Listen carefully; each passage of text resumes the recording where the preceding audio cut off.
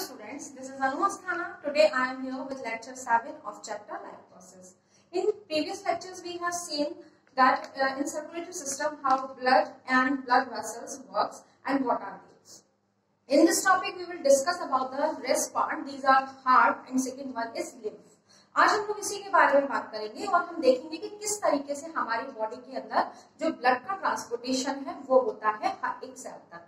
ठीक है तो चलिए इसको हम स्टार्ट करते हैं। हमें पता है कि जो हमारा हार्ट है, वो क्या होता है? थर्ड मैंने आपको बताया था ब्लड के बारे में और ब्लड वेसल्स के बारे में। अब ब्लड को उन ब्लड वेसल्स के थ्रू पूरे बॉडी तक पहुँचाने में जो ऑर्गन हेल्प करता है, जो आप बोल सकते हैं एक ऐसा ऑर्गन है जो जिस लाइक का पंप होता है, वो पंपिंग करता है मोटर की तरह से जैसे पंपिंग मोटर होती है, ठीक इसी तरीके से हमारी बॉडी के अंदर हार्ट होता है, जो उस ब्लड को पूरे बॉडी के अंदर सर्कुलेट करता है। अब अगर हम बात करते हैं कि हार्ट की तो हार्ट क्या है? एक मस्कुलर ऑर्गन है और एक ऐसा मस्कुलर ऑर्गन है जिसके अंदर ऐसी मसल्स पाई जाती हैं, जो कैसी होती है? नॉन फटीग होती मीन्स आप ये मान के चलिए कि जिस समय आपका बर्थ होता है फ्रॉम बर्थ टिल डेथ की कॉन्टिन्यूसली काम करती है बिना थके। और इन स्पेशल मसल्स को हम लोग नाम देते हैं कार्डिक मसल्स इनको हम लोग क्या बोलते हैं? मसल्स है ना? एक तो ये आपको पता चल गया कि जो हमारा हार्ट होता है ये किस, किन मसल्स का बना हुआ होता है? कार्डियक मसल्स का बना हुआ होता है। अब नेक्स्ट बात करते हैं हम इसके लोकेशन की, ये कहाँ पर होता है? तो बेसिकली ये जो होता है, वो दोनों लंग्स के, हमारी बॉडी में जो चेस्ट केविटी है, उस चेस्ट में, ये हमारे कहाँ पर होता है? लंग्स के मिड में होता है सेंटर में होता है। लेकिन आपके माइंड में एक चीज़ आनी चाहिए क्वेश्चन राइज होना चाहिए कि हमें तो ये लेफ़्ट साइड में फील होता है, हमको अपनी हार्ट बीट लेफ़्ट साइड में सुनाई देती है। ऐसा क्यों? तो उसका नेचर है, उसका एक रीजन है कि वो टिल्ट होता है लेफ़्ट उसका जो आप मान के चलिए कि जैसे ये आपकी क्लेंज फिस्ट है, इसकी जो साइज़ की बात करें तो आपका जो क्लेंज फिस्ट मतलब आपकी बंद मुट्ठी, कुछ इस टाइप का होता है और ये हल्की से टिल्टेड होती है लेफ़्ट हैंड साइड को। इसीलिए हमें वो फील कहाँ पर होता है, वो हमें लेफ़्ट हैंड साइड में होता है, लेकिन एक्चुअली भी वो लोकेटेड कहाँ पर होता है सेंटर में होता है। तो आपको इतनी चीज़ पता चल गई। अब हम बात करते हैं इसके स्ट्रक्चर की और किस तरीके से ये फ़ंक्शन करता है। क्लियर है? तो हम इसी के बाद में बात करेंगे। तो ये हमने ऑलरेडी एक हार्ट का डायग्राम ड्रॉ किया हुआ है। तो आप देख सकते हैं टूवर्ड लेफ़्ट की तरफ़ क्या है? हल्का सा टिल्टेड है। ठीक? तो अब अगर हम लोग यहाँ पर देखते हैं तो हमारे पास एक चीज़ आती है कि देखिए हार्ट है। आपको भी पता है, बहुत डेलिकेट ऑर्गन है। तो इसको प्रोटेक्शन प्रोवाइड करवानी पड़ेगी। तो इसको जो प्रोटेक्टिव कवरिंग होती है, उस कवरिंग को हम लोग बोलते हैं पेरिकार्डियम तो जो पेरिकार्डियम है, वो बेसिकली क्या है? इसकी आउटर कवरिंग होती है, जो उस हार्ट को प्रोटेक्शन प्रोवाइड करवाती है। क्लियर है? अब हमारे बॉडी के अंदर आपको पता है कि एक साइड डीऑक्सीजनेटेड ब्लड और दूसरी साइड ऑक्सीजनेटेड ब्लड होता है। What is the meaning oxygenated and deoxygenated blood मतलब क्या हुआ कि ऐसा ब्लड जिसके अंदर ऑक्सीजन का अमाउंट तो बहुत ज़्यादा होता है, उसे हम कहते हैं ऑक्सीजनेटेड ब्लड और जिसके अंदर हमारे CO2 का अमाउंट ज़्यादा होता है, उसे हम कहते हैं डीऑक्सीजनेटेड ब्लड अब बेसिकली होता क्या है कि ये ऑक्सीजनेटेड ब्लड और डीऑक्सीजनेटेड ब्लड दोनों ही हमारे हार्ट के अंदर जाते हैं और फिर वहाँ पर एक जगह पर वो प्योर होते हैं और फिर प्योर होकर वो क्या हो जाते हैं ऑक्सीजनेटेड होते हैं और पूरी बॉडी के अंदर सप्लाई होते हैं। तो यहाँ पर हम देखते हैं कि हमारा जो हार्ट है, वो क्या करता है, एक सेपरेशन लेयर रखता है, जिसे हम बोलते हैं सेप्टम तो ये सेप्टम क्या है? एक सेपरेशन लेयर है जिसकी वजह से जो ऑक्सीजनेटेड ब्लड है वो डीऑक्सीजनेटेड ब्लड से मिक्स नहीं हो पाता। दोनों सेपरेट रहते हैं। ठीक है? तो अब हम लोग देख, देखेंगे कि हार्ट में बेसिकली क्या होता है? फोर चैम्बर्स होते हैं। फोर चैम्बर्स का मतलब क्या हुआ? कि दो ऊपर के जो चैम्बर होते हैं अपर चैम्बर क्या कहलाते हैं? आर्ट्रियम कहलाते हैं। जबकि लोअर चैम्बर जो होते हैं, वो क्या कहलाते हैं? वेंट्रिकल्स क्लियर हुआ? मैंने आपको क्या बताया कि पेरिकार्डियम क्या है? एक आउटर कवरिंग है जो इस हार्ट को प्रोटेक्शन प्रोवाइड करवाती है।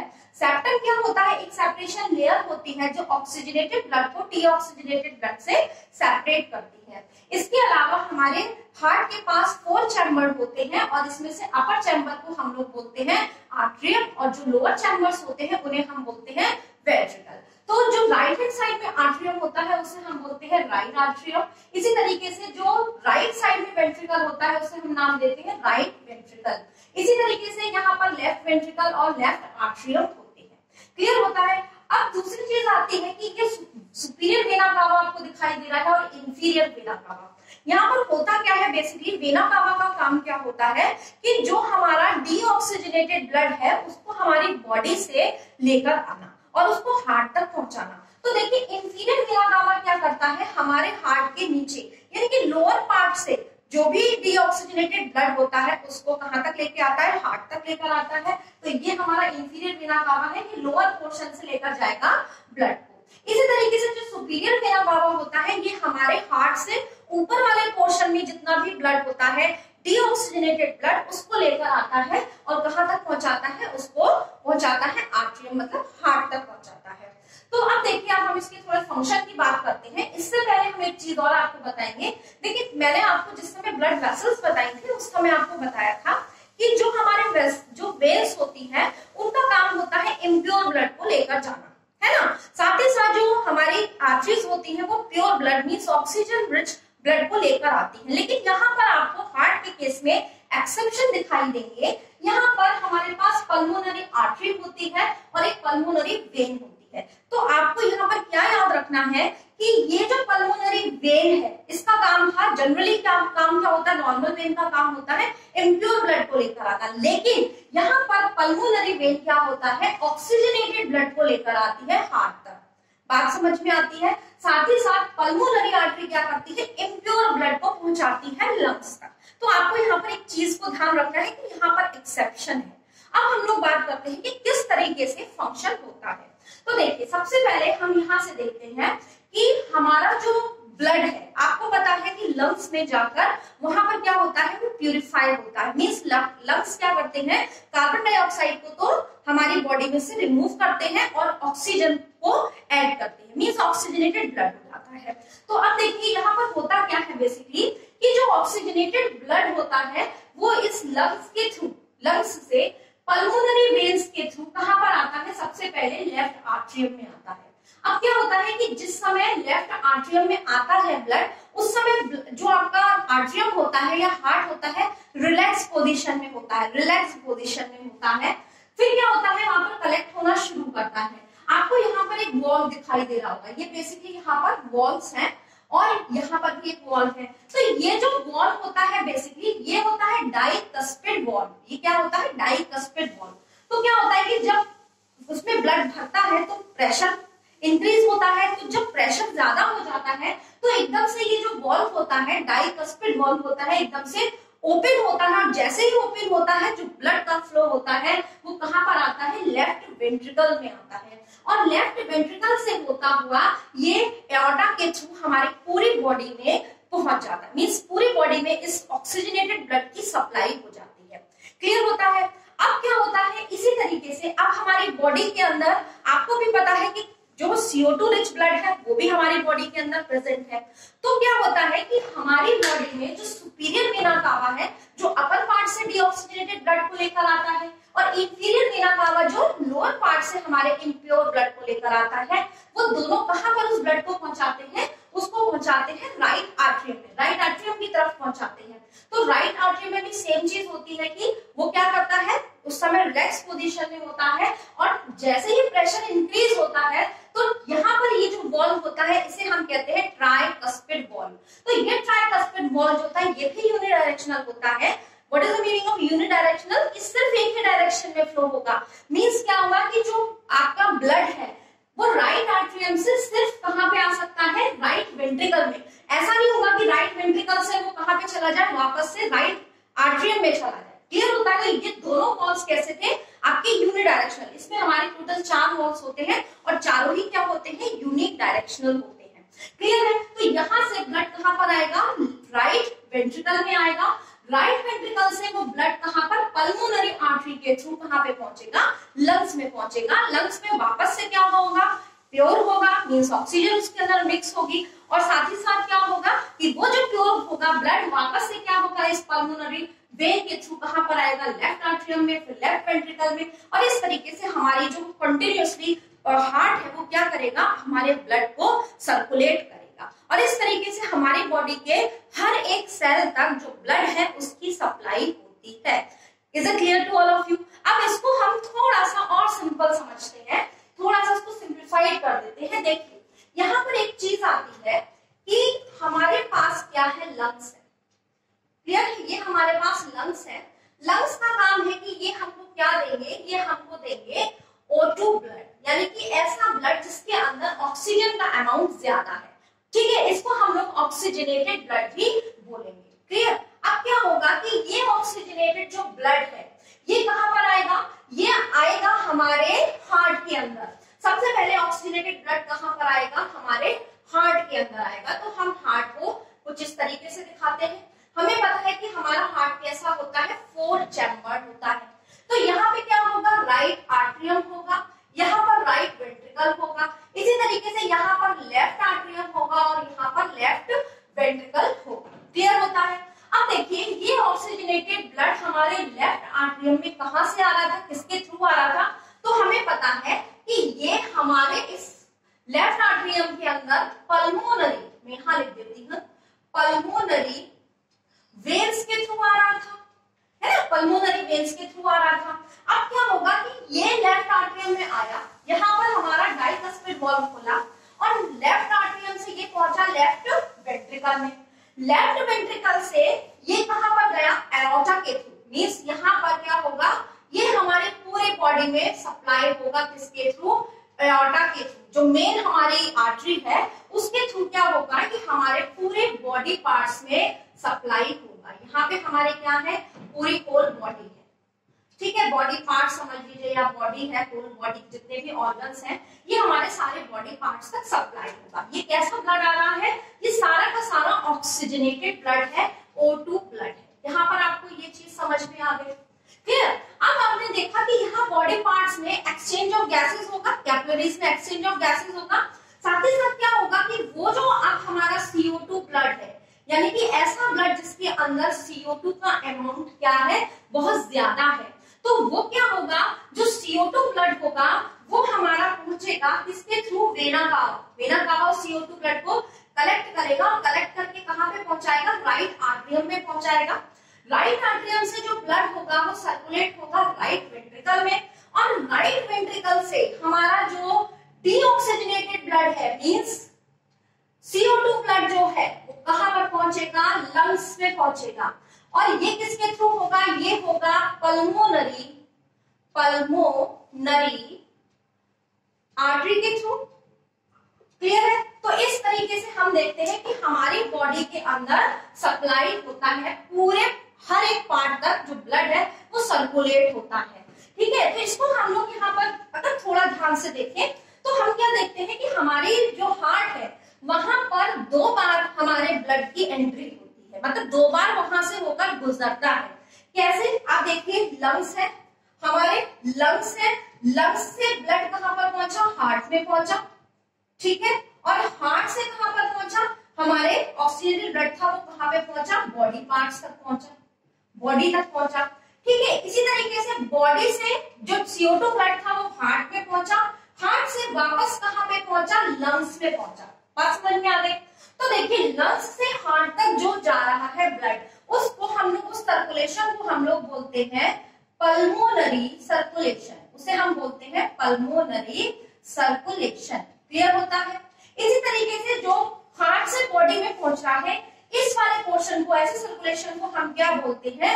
This is called systematic systematic circulation clear होता है सर्कुलेशन अब क्योंकि यहाँ पर दो टाइप का सर्कुलेशन आपको दिख रहा है, इसीलिए हमारी बॉडी में कैसा सर्कुलेशन होता है? डबल सर्कुलेशन बात आपको समझ में आई? डबल सर्कुलेशन का मतलब क्या है? डबल सर्कुलेशन का मतलब है क्योंकि हमारी बॉडी के अंदर जो ब्लड है, वो हार्ट से टू ट्वाइस टाइम्स गुजर रहा है। या आप बोल सकते हैं हमारी बॉडी में हार्ट के थ्रू दो सर्कुलेशन होते हैं, एक पल्मोनरी सर्कुलेशन दूसरा सिस्टमेटिक सर्कुलेशन और इस कारण हम इसे क्या बोलते हैं? डबल सर्कुलेशन और इस तरीके से आप हार्ट को बहुत क्लियरली समझ सकते हैं कि हमारा हार्ट किस तरीके से हमारे बॉडी के अंदर ऑक्सीजनेटेड ब्लड की सप्लाई करता है और साथ ही साथ जो डीऑक्सीजनेटेड ब्लड होता है उसको पहुंचाता है लंग्स के थ्रू लंग्स तक और लंग्स से वापस से क्या होता है? हमारे बॉडी में फिर सप्लाई करता है और कॉन्टिन्यूसली ये वर्क होता रहता है। Is it clear to all of you I think यहाँ तक आपको समझ में आया होगा अब देखिए हम लोग नेक्स्ट टॉपिक की बात करेंगे that is called blood pressure आपको पता है कि जब ब्लड हमारी वेस वेसल्स के अंदर जाएगा तो ऑब्वियसली चीज़ है वो क्या करेगा वो उनकी वॉल्स पर प्रेशर क्रिएट करेगा एक प्रेशर एक्सर्ट करेगा और उसी प्रेशर को हम लोग क्या बोलते हैं ब्लड प्रेशर बात आपको समझ में आ गई उसे हम लोग बोलते हैं ब्लड प्रेशर अब देखिए ब्लड प्रेशर जो होता है वो दो टाइप का होता है पहला कहलाता है हमारा सिस्टोलिक सिस्टोलिक और जो दूसरा होता है that is called